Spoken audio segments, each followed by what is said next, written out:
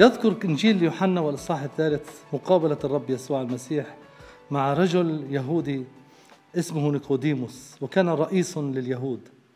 فهذا الإنسان جاء لكي يتعرف على الرب يسوع خلال أعماله التي أبهرته. ولكن الرب يسوع المسيح وجه أنظاره إلى أمور أعظم إلى أمور سماوية. يجب أن تولدوا من فوق. لن تدخلوا ملكوت السماوات إن لم تولدوا من فوق. نحن بحاجة إلى ولادة إلهية. بما أن الإنسان ولد من الجسد فعندما نتقابل مع الله يجب أن نولد من فوق. لأن الإنسان عندما خلقه الله خلقه كاملا وعندما أخطأ شوهت هذه الخطية هذا الجسد وهذه العلاقة. فعندما نعيد علاقتنا مع الله يجب أن نولد من فوق.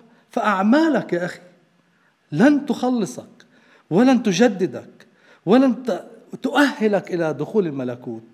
لأن الكتاب يقول ليس بأعمال عملناها نحن بل بمقتضى رحمته خلصنا بغسل الميلاد الثاني فتعال إلى الرب وأولد من جديد وهو يدخلك إلى ملكوت السماوات.